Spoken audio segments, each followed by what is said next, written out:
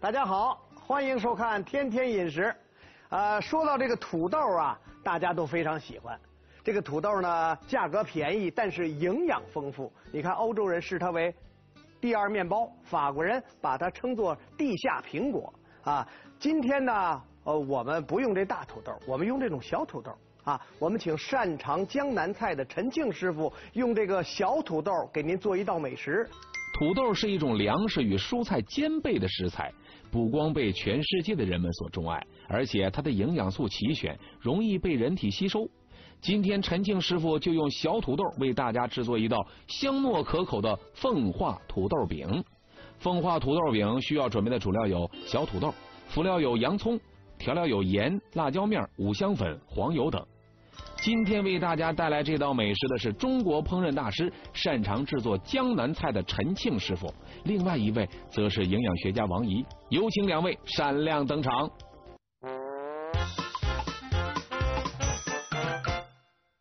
好，这位就是陈庆师傅，大家都很熟悉了。这位其实大家也很熟悉，我们的营养专家王怡啊。呃，今天呢，既然是做土豆饼，那肯定土豆是最主要的，对，没错，是吧？嗯。呃，刚才我说了，不用大土豆，用小土豆。嗯。啊，咱们北方其实一般的都吃这种大土豆，对，是吧？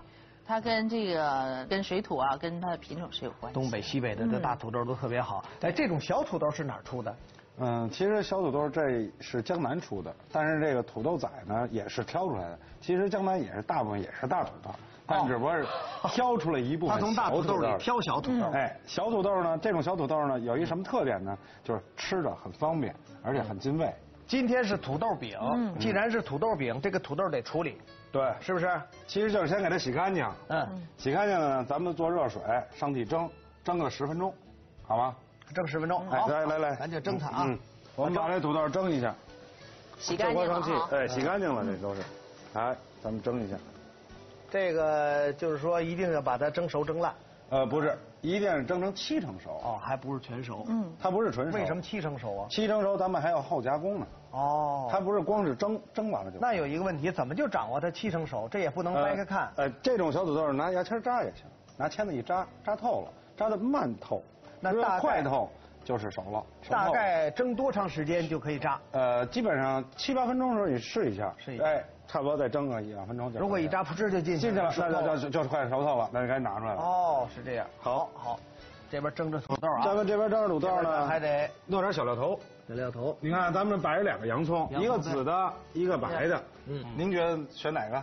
呃，这个问王姨，呃，这个因为您是营养专家，您觉得咱选 选哪合适？现在是这样的，因为它要蒸土豆的话，要选用的话，我肯定要选用紫色的。哦。因为紫色的话，从色彩上让你菜肴觉得特跳跃。哦。但是从成分上说的话，两个应该说没有太大的区别。哦。但是在我们烹调过程中的话，应该说我们秦师傅知道的，它两个口味是有点变化的。嗯。是选紫色的吗？嗯，选紫色的好一点。你真逗，本来你想选白色的，好，你听这个这个老师说的对，一定要听老师的，老师的不犯错误是吧？好，少犯错误。是，他要选那个颜色的话，他主要是想把这盘子菜都是一个颜色的。你想，他要搁奶酪，他要搁土豆。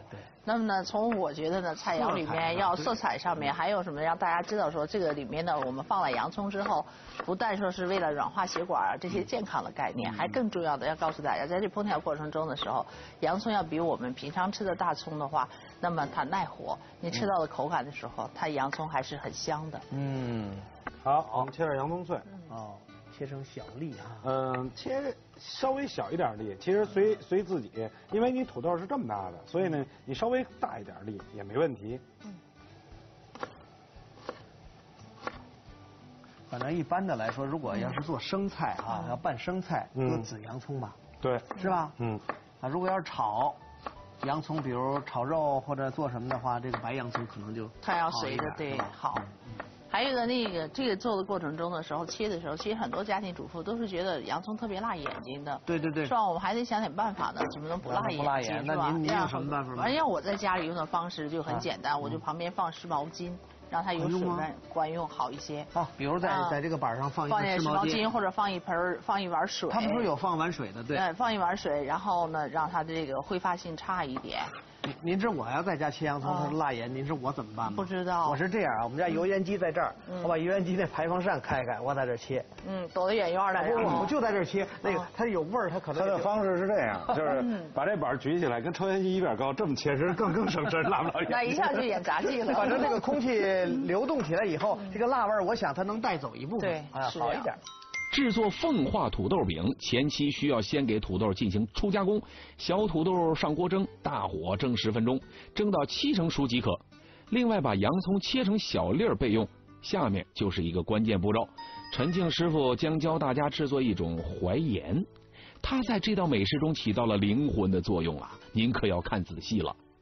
我们呀，在做蒸土豆的过程中呢，我们光加工了洋葱了，还有一个特重要的东西，什么？叫自制淮盐。自制淮盐。对，其实有很这个土豆里要用一点淮盐，淮盐什么意思？其实就是盐加上盐，这是咱们普通的盐，盐哎，给它加热，加热得要温度，然后加上点五香粉，让它有滋味儿。然后加一点辣椒。哦，是这样啊。对那咱得看看啊，怎么做，另外这个比例都放多少？对呃，首先刚才陈庆说了，说得加热，对，这个盐加热，盐是生炒，哦生炒加热。哦其实把锅烧烧烧成怎么样，你就把它烧烧干了就可以了。就可以哎，然后慢火、小火咱们再炒着盐。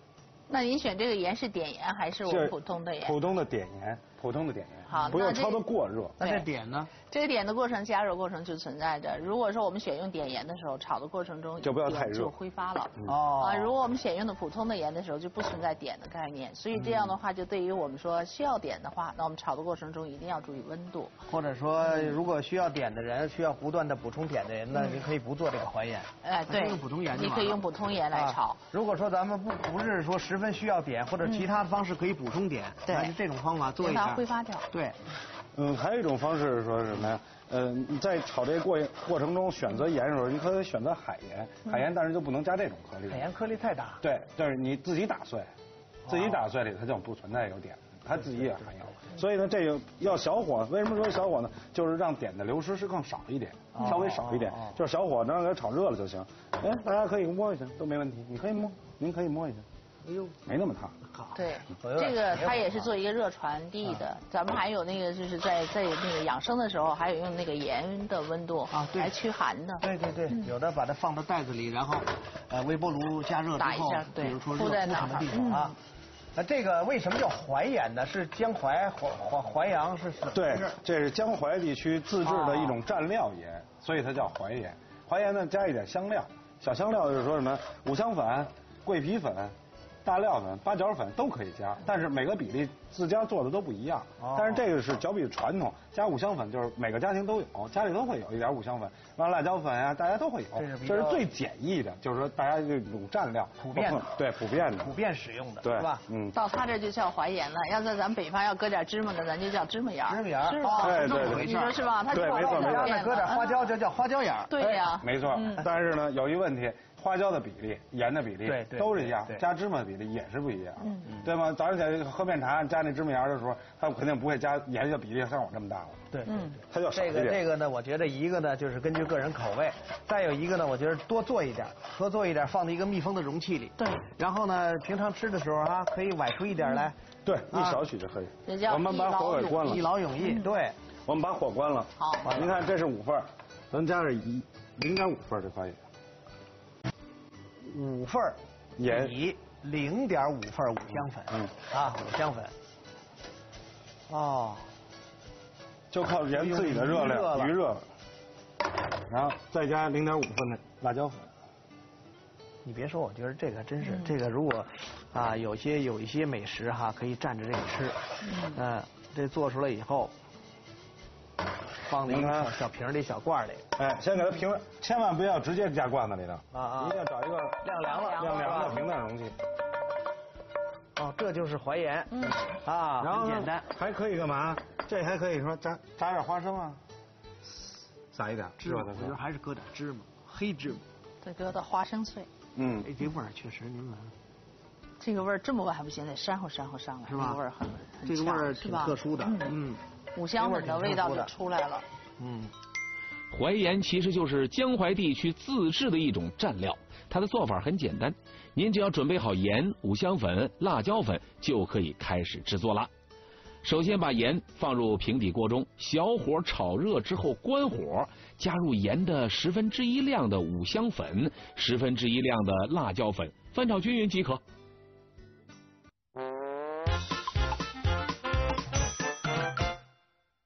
好了，我们这盐炒完好了。啊，我们这蒸的也看也差不多了，我们找根签子插一下，插一下啊。找根筷子吧，嗯。咱们插一下，哎，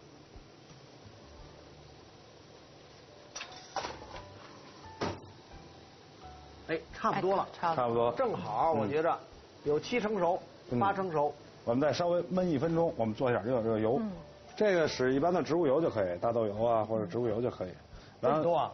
煎它，这是煎的，还要煎这土豆。对，嗯，我们先看着，嗯您先看好吗？对，我们把油做热，要不然一说做营养学在那放这么多油合适吗？我们先看它要怎么用，是吧？对对嗯，说到这个土豆啊，虽然说它好，全世界的人都喜欢它，嗯是吧？呃，但是呢，有人说吃土豆多了容易发胖，您怎么认为？嗯，我觉得这个胖的原因是很多的原因，嗯并不能把它归结在土豆上面的。淀粉里面呢，我们讲有可溶性的和半可溶性的，还有不溶的。嗯在这里面呢，它的主要是膳食纤维的含的丰富的时候呢，它在吸收过程中的时候，虽说是淀粉的热量含的很高，但它的吸收率是比较低的。说土豆，土豆就出锅了。啊，好，哦，土豆出锅了，行，这个土豆已经蒸的，我觉得起码得七八成熟了，嗯八成熟。嗯，干嘛搁纸上干嘛？吸一下油，不是吸下水，吸下水，那个这我还纳闷呢，我说哪有油啊？还吸它蒸完了有水，它怕搁锅里崩。啊，是这意思。嗯，那在这里其实还可以有一好的窍门儿嗯，就是我们用的如果是花生油的话，里面放一点碘盐，碘可以抑制黄曲霉毒素的。您这么一说，我就联想，比如煮花生米的时候，一定要放一点盐，嗯，它是那更好。万对，一有黄曲霉素的时候，它可以就可以抑制它。也那前提是要放碘盐。碘盐。对，啊因为碘有抑制黄曲霉毒素的作用。咱们拍一下这土豆，还要拍一下。对，哎，为什么要拍一下啊？稍微拍一下，让它那拍碎了不是白蒸了吗？不是，你拍一点儿，让它有点饼状，就这样状。啊那能不能炸完再拍呢？呃，炸完再拍它也不好，就这样。不能成型了哎对，就这样啊，不能把它拍的太碎，嗯只是压一下。对，压一下，压一下，压压裂了就。压一下的目的是什么呢？压让它好好进着热点不一样，因为那个食物加热的这种芯儿啊，肯定达到不了那温度，嗯嗯。那这不就容易碎吗？稍微碎一点没关系。就是土豆饼，它是类似于饼，它并不是说绝对的是饼。嗯你看，就这样合适。嗯，这样它带着皮的话，一过油的时候，它还对油的有那个抑制它。对，我就想，就是为什么，比如说，为什么不去皮？一般土豆都要削皮。嗯，啊，小土豆削不了，不好削，起码熟了以后可以把它剥掉。为什么不剥啊？不剥，其实皮的感觉是不一样的，有皮的感觉。吃的感觉不一样。啊，刚才另外像您说的，可能它也抑制这油啊，油的省得它吸那么多的油。是这样的。再一也不用担心，它这个是皮帮了一个作用，本身土豆的纤维也很高的。嗯，我们试一下油温，嗯，拿热的，这怎么试？往里掸什么呀？这是黄酒，掸上一点黄酒，但是跟水汽是一样的。但是你你觉得你看这油温就是特别慢，所以你才能识别它不热，所以稍微这等一会儿。这是说句实话，这是教了一招。窍门哈嗯对，您是胆黄酒，胆水呢？胆水也一样。那就意思是一样啊。哎那就是那点水胆点水好吧，掸点水，胆点掸点水什么意思？看看，他就看你那个泵的程度。现在是热是不热？慢，所以就不热。不热。它的速度越快，我明白了。如果说放进去，歘家伙，这就哎那就热了，热了非常热了，非常热啊。那咱们也崩了。我们做一使这个呢，就是稍微的，这这这个温度再密度再快一点就可以，就可以下去。你看，哦，它崩了吗？开始崩水了，就是说它很慢，它油温凉。要是一般的时候，这面歘就上来了，对。如果说不不这样做，如果放里这么一点洋葱呢？那也是飘的那也可以，是吧？是嗯不是？嗯，这起来了，这热了，热了已经热了，它快了，它在哦要搁进去好，在在底下沉着，它肯定不会上来。哦，对，凉的时候它沉，对它不上来。为什么说这种锅要试一下油温？因为咱们家里的容器火小，不是说专业的火大，所以你下去的温度正合适。因为你一下去的时候，它就会凉下来。嗯所以你稍微比你需要那火稍微高热一点热一点。哎对，现在可以放土豆了。这个温度您觉得合适吗？还可以。因为什么呀？你得等一会儿，因为它不是马上就能有。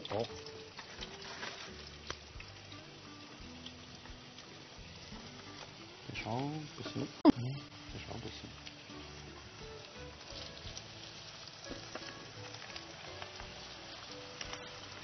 稍微给它煎煎透一点，这火就得稍微大一点，稍微大一点，因为它一下去就凉了，凉，它已经凉了，温就下来了。对，嗯。呃，您说煎大一点是煎到什么程度？因为这个土豆啊，基本都快熟了。对。啊，煎到它两面有点糠那种感觉。有点什么？有点糠什么意思？有点夹那意思吗？对，就是说带点颜色了，是不是？带点颜色，焦焦一点焦。哎，这有点了，你看，是吧？所以给它翻一下个。就是炸的有点焦，有点你看这个很明显对，这么着味道就上一点颜色。对，嗯，它吃的口感就不一样。哦。所以啊，我看起来这还真得用小土豆，是吧？你要真用大土豆，这还不好弄。大土豆那锅得多深呢？油得多少啊？而且那什么时候炸熟啊？不是蒸熟啊？呃，蒸蒸的时候你需要很大的困难，因为你要蒸的很透很透。对对对。因为这么大的土豆，最起码得二三十分钟。嗯。最少二三十分钟。关键吃起来也不方便啊。好了，我们煎成这样状态，您看看。哦。煎成这样状态。好，出锅。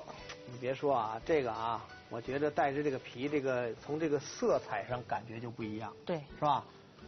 锅内有一点小底油就可以了。然后呢，我们使一点黄油。黄油？对，牛油。这就是牛油，有点近似于西餐的做法，但是这种这么着会香，煸点洋葱底会香，来一点。哦。他是用的那个西餐的做法，借。我们的那个牛油的味道，因为它全是素的。对，而且它这个牛油就是用的我们纯的我们的那个牛油或者是奶呃羊油的那个提取物的。哦。然后我们刚才我们切的那是小紫洋葱。这黄油呃黄油里边放的洋葱，这更像西餐了。对，它的味道就有了。但是我们的盐是中餐的味道。对。油可以哎对。中西合璧了。嗯，中西合璧。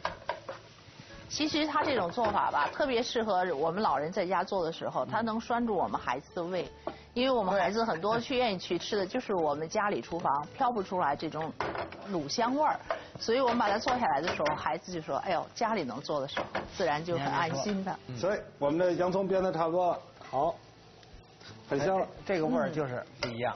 嗯，我们把土豆下去，关火，这就关火，关火，记住要关火。我们刚才不是调了点淮盐吗？嗯，我们把这淮盐用上小比例，哎，撒在外面了。嗯，然后加一点料酒。哦，这料酒是起什么作用？是烹的。他说的也特别重要，他喷进去以后，他给了一点水分，一会儿那个土豆皮就和那个土豆肉就自然就。这时候再开火。哦。